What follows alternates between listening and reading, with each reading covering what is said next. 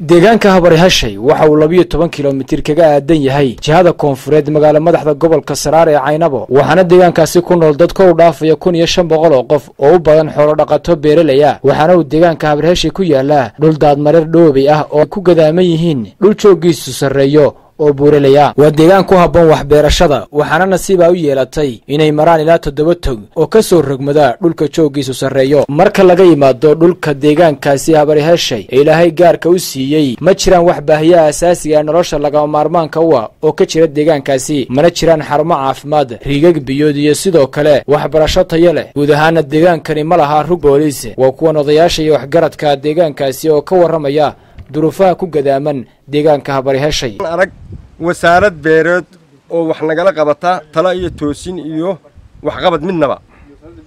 Midnaan arag wasaaradda biyaha maanaan arag. Ta qorshaynta maanaan arag. Dawladdu halka kan ma ay danaynin oo way ka jeeddaa waxaana deggan baableeshin ballaadhan oo reer somalilanah oo u baahan in wax lala qabto oo wax loo qabto oo waxaan ku yidhi ka mid a dee dadka reer somalilan. Halkaa waxaan leeyahay dawladdu way dayacday. Oo wasaaradaha waxaan ku yidhi ku shaqada leh arrimahan beeraha iyo dhulka waxaan ku yidhi wax soo saarkiisu way dayaceen. Waxaanu leenahay waxa nalala qabto oo yaan la iska indhatirin. Cid na danaysay oo maanta na danaysay ma jirto oo deegaankan danaysay oo aad baa looga gaabiyay hadday xagga dawladda tahay iyo hadday xagga joogta tahay iyo xagga magaranaysa dad kale ee magaranaysa ama ganacsatada ama islaamka ee magaranaysa wax tari kara aad baa looga gaabiyey waqtigaa dhacay. Magaaladana markaan taariikhaan ka warramo marka hore waxay ku salaysnayd laba qodob baa ku salaysnayd xagga beeraha way ku salaysnayd oo ilaa ingiriiskii soo jireen bay ahayd. Oo anigu raggii ku dhashay beeraha ayaan ahaa.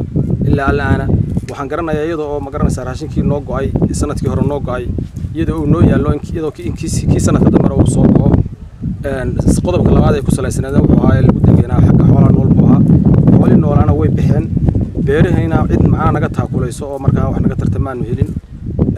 Xoolo iminka ka hadli maayo oo dee dadkeenu la qabnaa laakiin waxaanu aad macnaha halkan aanu uga cabanaynaa ama ma garanaysaa aanu u gudbinaynaa ciddiina danaynaysa ama horumar gashanaysa ama magaranaysa wax nala qabanaysa. Hadday tahay qurba joogta iyo hadday tahay ganacsatada iyo hadday tahay macnaha hay'adaha samafalka iyo hadday tahay ma garanaysaa dawli dawliga. Markaa dacwad baanu nahay. Waxaanu u baahannahay hay'adaha caalamka wax siiye ee cid kasta ha ahaadina dhulka yimaada inay magaaladan habarheesay hoos u eegaan. Iyo dawladdaba iyo dawladduba iyo xisbiyadu dhammaan.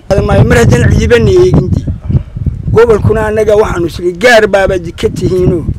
Codkun baana looga soo doontaa. Hay'ad qudha oo laysu soo kaaya dhaafinayaa ma jirto. Sidaa daraaddeed waxaanu leenahay wixii dadka la siiyo yaanu annagu u baahannahay wixii dalka la siiyana waanu u baahannahay rug bulays ma hayno قفك نجحانو سر سقوه بابا ودي قبانو بابور كرينا وحنا لقانا مل عصبة تالية حبت كنينا مل مركب برعي كله برعي نقوله برعي نقبتنا دتك انت بدن ما بهلك ارتد بابور كن نولجس خرج كلام بهلك تنا وحاف ربعتي انت ضيع أو بحلال مسكاس نابابر حبتك أنا على هاي قفك انتو لما برعي ولقبنا وسارد عافمات وقعبنا وحبنا مقبض ركت بولسك boolis waxba nooma qabto rug boolis ma lihi rug caafimaad ma lihi dacwoon waan dacwoona waayo hebaa la yidhahaa naagamana hoos qaado waxa noola qabtaa ma jirto ka cabanaynaa waan aad iyo aad uga cabanaynaa xisbiyada xisbiyadu waxa weye way noo yimaadaan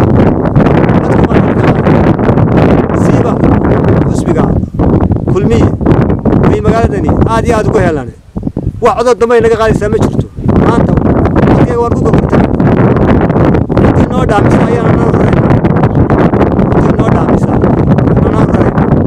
cod dambe oo maaragtay ee heerna kaga qaadaya ma jirto maxamed xuseen ismaaciil maxamed moodso ariel t v burco